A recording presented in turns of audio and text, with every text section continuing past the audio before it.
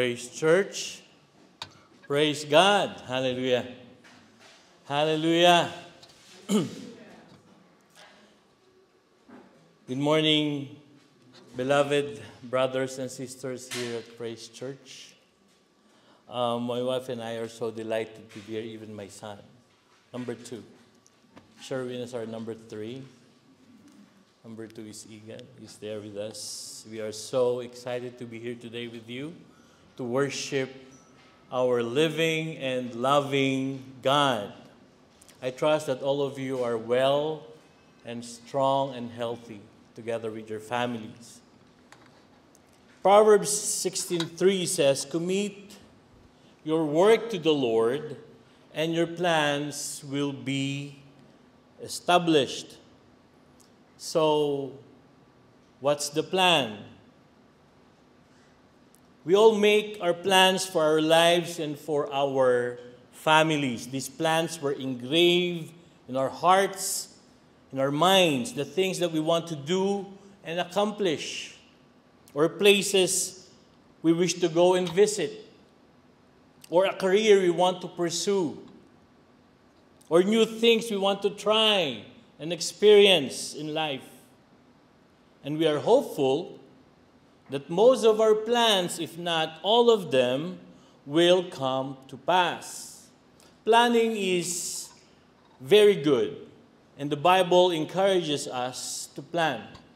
But what happens when the, your present, listen, what happens when your present situation in life makes it so difficult for you to achieve your plans or reach your goals in the future?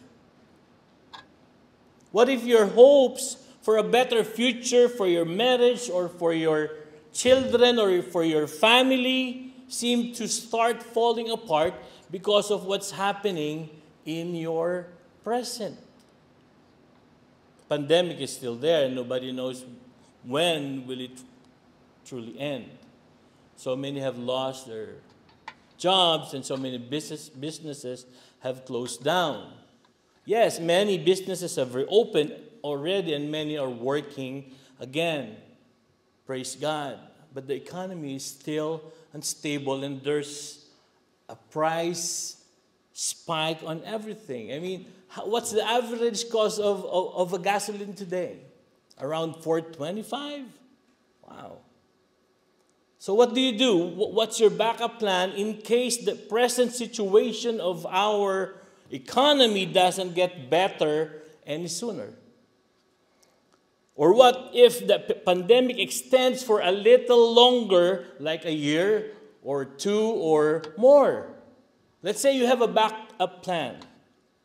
Would that plan work in the next five years or 10 or more? Well, here's the good news, beloved. There is a plan mentioned in the Bible that will for sure work in the lives of the people of God. God's great plan. God's great plan. Today we will look into a very familiar passage in the Bible, and we and as we hear from God, may His word brings us new and fresh insights, fresh encouragement, about this great plan for us. Jeremiah 29 11, as we have heard earlier, for I know the plans I have for you, declares the Lord. Plans for welfare and not for evil, to give you a future and a hope. Join me in a very short prayer. Our confidence is in you, O Lord, and so we come to you today with praise and thanksgiving in our hearts. You said in your words that your thoughts are not our thoughts and your ways are far from ours. Your word is life, and we desire to live in the light of your word. And so I pray, Father, that as we listen to you today, anoint our ears that we may hear, our eyes that we may see, and our hearts that we may understand your message with clarity and power in our lives. Holy Spirit, be our teacher. Anoint the lips of your servant. And may the name of Jesus, our Christ and Lord, be glorified in our midst. in whose name we pray all this. Amen. Amen. Amen. God's great plan. God's great plan. If you have your Bible with you, please keep it turned to, to Jeremiah 29. We will go through it during our time together. Now, just to give you a little background, Jeremiah was originally from the land allotted by God to the tribe of Benjamin. He was called by God at a very young age. Among the prophets in the Bible, only Jeremiah and Samuel were known to start their ministry at a very young age. So Jeremiah basically ministered as God's prophet in Judah, particularly in Jerusalem. Now, God was so specific on what he wanted Jeremiah to do when he first called the young prophet. Jeremiah 1:10 tells us about this. See, I have set you this day over nations and over kingdoms to pluck up and to break down, to destroy and to overthrow, to build and to plant. Now, as you may have noticed, there are four action words here that in sense, in a sense, are negative. Pluck up, break down, destroy, and overthrow. Now, the book of Jeremiah is predominantly about God's judgment and punishment, not only to Judah, but to all the nations because of their rebellion and because of their rejection of God. Please keep in mind that during those, those times, these four negative things were already underway and happening in the life of Judah and the people of Jerusalem. They were already plucked up from their own country and overthrown as exiles in Babylon under the rule of King Nebuchadnezzar. Also, the Jewish temple built by Solomon, which was the center of their pride, the center of their honor, the center of their glory, was already burnt, broken down, and destroyed by the Babylonians. Now picture that in your mind. Picture that and imagine, imagine the distress and the pain the people of Judah were going through. They were emotionally, morally, and even spiritually bankrupt. Imagine from fame to shame, from glory to worry from honor to horror. That, that was the situation of the people of Judah during the time. But that was, plan, that, that, that was part of God's great plan for his people. Verse 4 tells us that God was the one behind their present situation. Thus says the Lord of hosts, the God of Israel, to all the exiles whom I have sent into exile from Jerusalem to Babylon. Now, on the positive note, there are also actions of blessings in God's mandate to Jeremiah to build and to plant. And that was also part of God's great plan. But the question is how will God accomplish his great plan for his children. Now, there are two things I'd like to share with you this morning. The first is this it is God's plan to bless his people in the present. It is God's plan to bless his people in the present. Who doesn't know Jeremiah 29 11? Everybody loves this passage. And many have memorized this as their personal verse, claiming every word of it upon themselves, right? If that's you, can you say amen? Few. Amen. Praise God. But I won't be surprised if some of you may say, Pastor Edwin, it sounds a little different today. I think the Jeremiah 29 11 that I know is somewhat different from what I am hearing from you right now. I know. Let me tell you. Let me tell you why.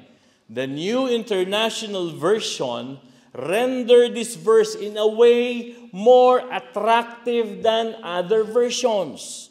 And I says it this way For I know the plans I have for you, declares the Lord, plans to prosper you and not to harm you, plans to give you hope and a future.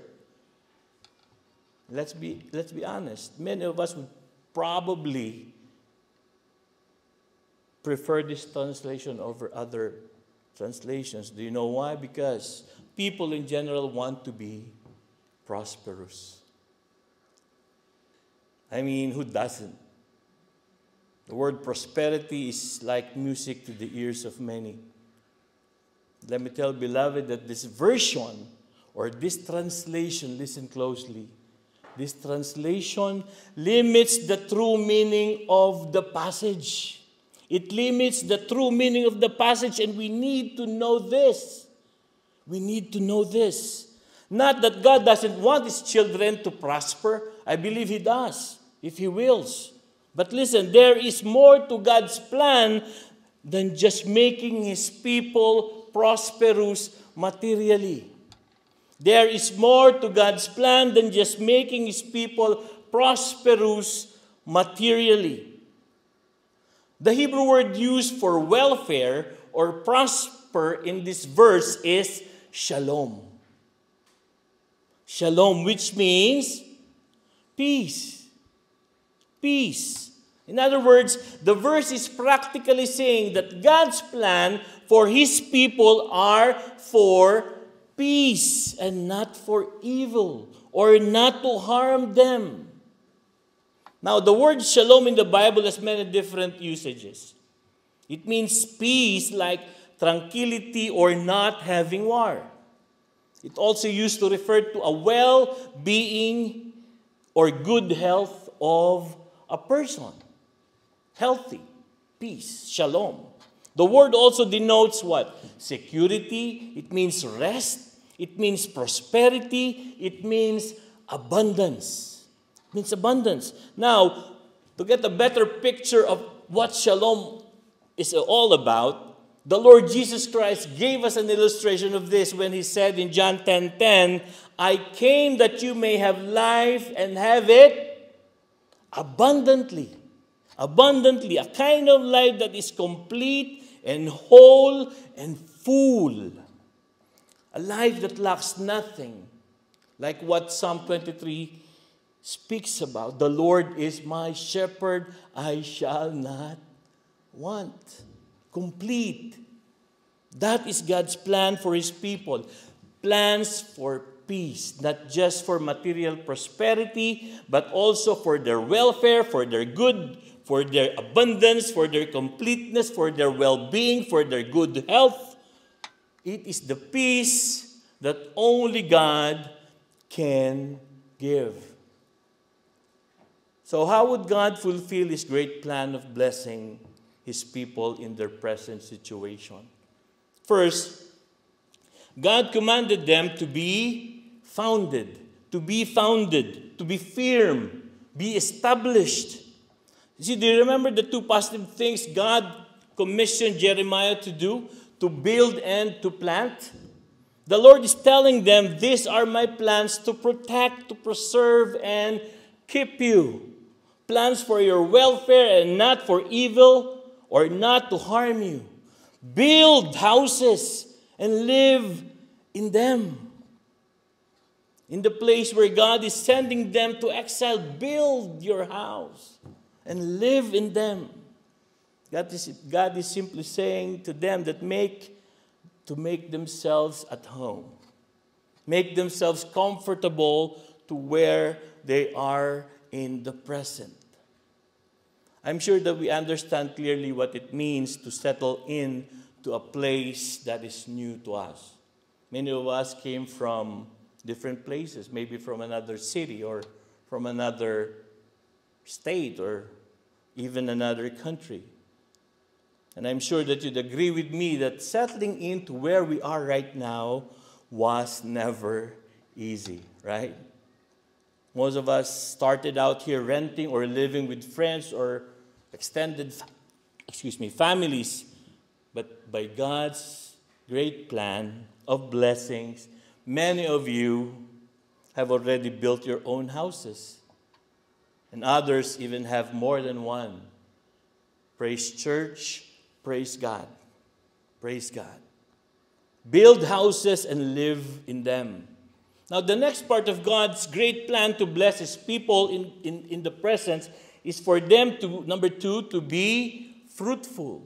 To be fruitful, plant gardens and eat their produce. One of the trending activities or habits that happened in the life of many during lockdown is planting a garden. Many have invested their time in gardening and growing all different kinds of vegetables and plants in their own backyard. Amen? We live on, we live on a third floor of a small apartment somewhere in Eagle Rock. And obviously, you know, we don't have our own backyard. Now consider yourself lucky if you live on the third, third floor of an apartment and uh, you, have your, you have your background with you. So you must be very, you must be very rich if you, you can consider yourself rich if you are on the third floor of an apartment if you and you build your own backyard. Right? But I was so impressed with my wife who was able to grow kamote or sweet potato in our apartment. Can you believe it? Here's how it looks like. Believe it or not, believe it or not, we already enjoyed the fruit of her labor when she harvested some leaves from it to put on her sinigang. Not just once, more than once. Poor kamote. Hallelujah. Hallelujah. So plant gardens and eat their produce. It is God's plan for His people that they work and be productive, that they may enjoy the fruits of their labor. We also understand that very well. Some of you, like myself, migrated or exiled by God, if you will, from another country, and yet we praise God because we are able to work and enjoy the fruit of our labor in the land foreign to us. We have been founded and we are established. Amen. Now, moving on to verse 6. The Lord even went further on how they are to be fruitful. Now, this is something that is not very popular to many young people of our generation. The millennials refuse to get married. And when they do get married, many of them would rather adopt a dog or a cat than to have a child of their own. What happened to what God says, go and multiply? And that is being echoed here in our passage. Take wives and have sons and daughters. Take wives for your sons and give your daughters in marriage that they may bear sons and daughters. Multiply there and do not decrease. Kudos to Sister Jonah and Brother Noel. Multiply. Hallelujah. The principle here is very clear, beloved. The only way, the only way not to decrease is to increase. And that is to multiply. Be fruitful. Now, the same principle applies to the growth of the church in numbers. The only way not to decrease is to increase. And how do we do that? By making disciples by making disciples, by planting seeds of God's word to people that there may be harvest of souls. There's no other way. Next, God's plan of blessing His people in the present is for them to be faithful, to be faithful. They were commanded by the Lord to be faithful to Him in prayer, even now that they are in exile, and they are to be faithful in praying for the city that they're in.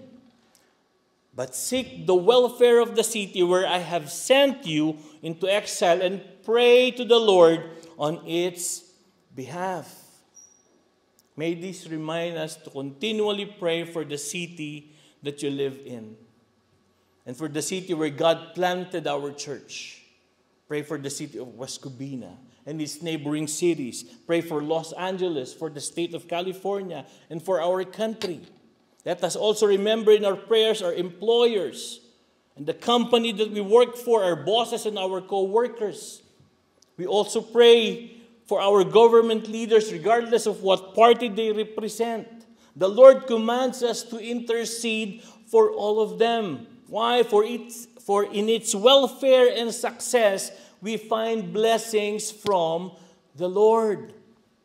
Then, as we see in verses 8 to 9, prophet Jeremiah warned the people about the false prophets who were living among them. He says, Do not let your prophets and your diviners who are among you deceive you. And do not listen to the dreams that they dream, for it is a lie that they are prophesying to you in my name. I did not send them, declares the Lord. Now, I find this so interesting. This is a constant warning we can find in the whole scripture regarding false teachers or false prophets. They're always present in the lives of God's people to mislead and misguide them. They will always try to persuade them to take a different path and convince them to consider a different plan other than God's. They were present in Jeremiah's time. They were present during the time of our Lord Jesus Christ. They were present after resurrection in the life of the church. And they are present even today. And so, in the midst of this, God wants His people, is calling out to us to be faithful to Him and to His Word. And we praise God for giving us the Holy Spirit to guide and protect our minds and hearts and we thank the Lord for giving us the Bible, where we can cross check what, what are being preached, what are being taught in the street or everywhere, online, through the media. Praise God for the Word of God, for the living Word of God. Again, the people from Judah are to be founded, to be faithful, and fruitful while they are in exile in Babylon. That is God's great plan to bless His people in the present. And let me tell you, there's a reason for that plan. There is a reason for that plan. Verse 10 tells us more about it. They need to be founded or be established in the land. They are to be fruitful and multiply. And they must remain faithful in prayer and to His word and promises. Why?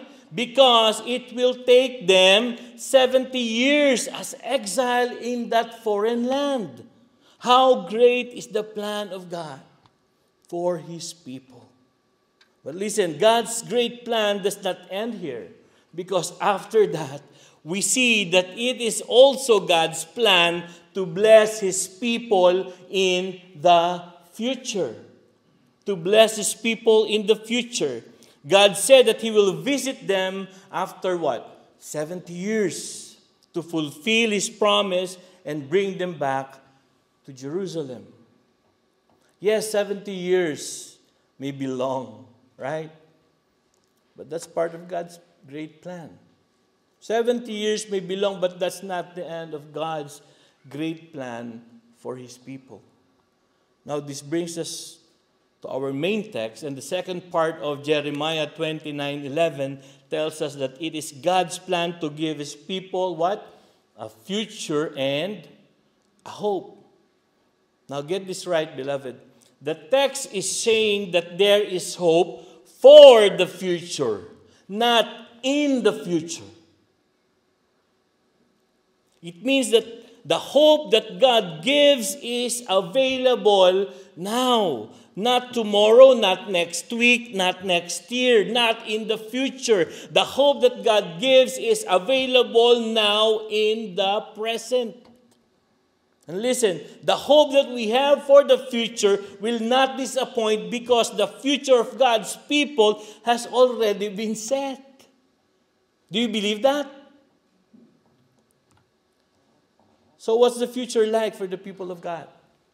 Again, verse 10 speaks about number one, God's promise of redemption. In God's own time, He will surely redeem His people from where they are and from whatever situation they may be and bring them back to Himself. God will surely redeem us even from this pandemic of, or from whatever dire situation you may be in right now. Not only that, but there is also, number two, God's promise of reconciliation. Because God will visit His people to redeem them, they will put their trust in Him and call upon the name of the Lord. They will come to Him, they will pray to Him, and God will answer their prayers. They will be reconciled to God.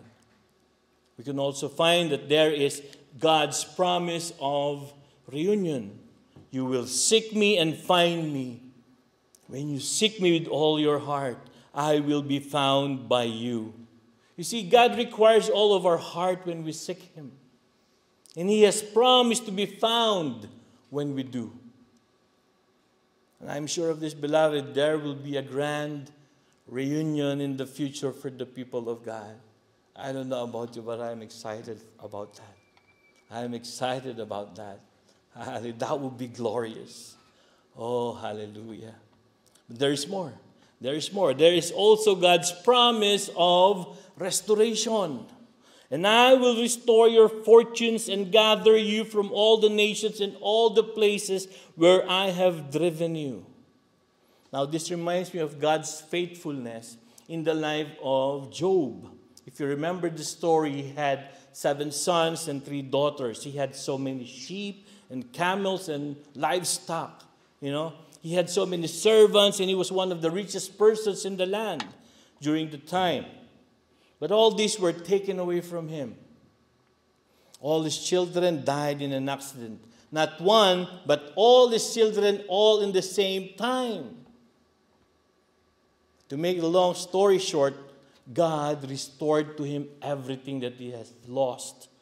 The Lord even restored to him twice as much that he had before. And at the end, God also blessed him with another seven sons and three daughters. This, beloved, God, God that we serve, God that we worship, is faithful to keep his promises.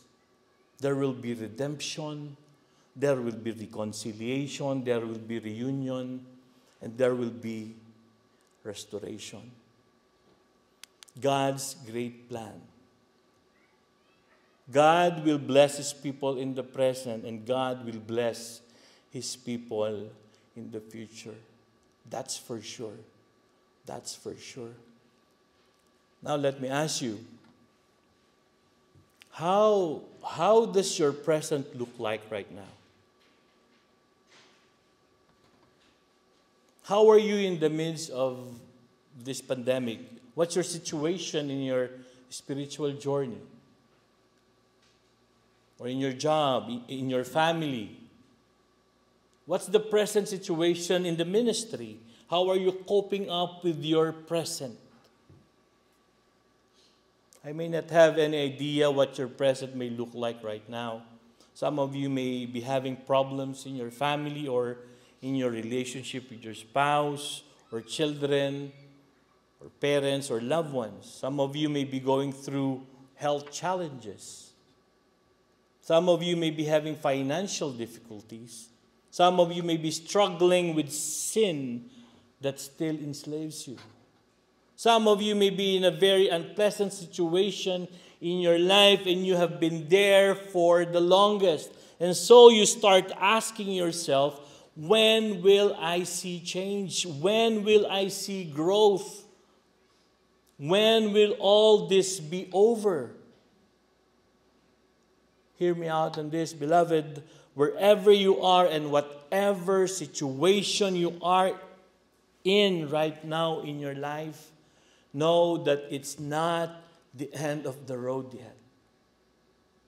Yes, hardships, sufferings, and difficulties in our lives could sometimes be unbearable. And yes, they may stay for a bit longer, hopefully not 70 years, right? But like what the psalmist says, weeping may tarry through the night, but joy comes in the morning. God allows you to be in your present because that is part of His great plan for you. God allows you to be in your present because it is God's great plan to give you opportunities to trust Him in your present. And this is what He asks you to do.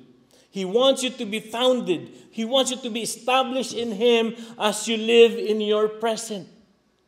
He wants you to be fruitful. God knows God knows your heart, what you are going through right now, but He's asking you to be fruitful. Know God's will and His purpose, why He allows you to experience the things in your present. Consider your present as God's fertile soil where you could grow more in your faith and in, in your relationship with Him. Be fruitful in the work that God has given you. He also wants you to be faithful be faithful in praying that God will be glorified in your present. Though sometimes I can understand it, it's hard.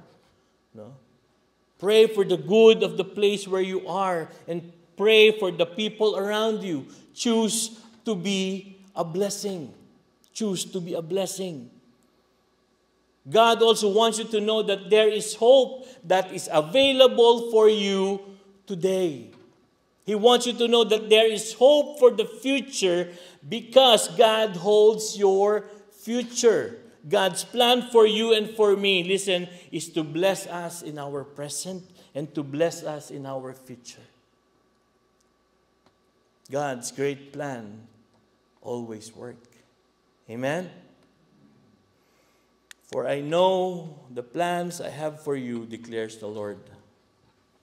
Listen to me, beloved. God is not guessing. God is not taking chances. God is not doing trial and error. He knows the plans He has for us plans for our own welfare and not for evil, to give us a future and hope. Let us pray. O Lord our God, in you we put our trust. In you we put our hope. Because in you we find our peace and in you we find our strength. We know that your plans always work. And so I pray that may our hearts and our spirit be encouraged by the word that we have heard today. Cause us, O God, to trust you even more, knowing that whatever present situation we may have, and whatever present situation we, we may be in. We know that you are here with us and your plan is for our good and not for evil. Embrace your people with your peace and bless us, O God. May the name of Jesus our Christ and Lord be glorified in our lives. This we pray in his name. Amen. Amen.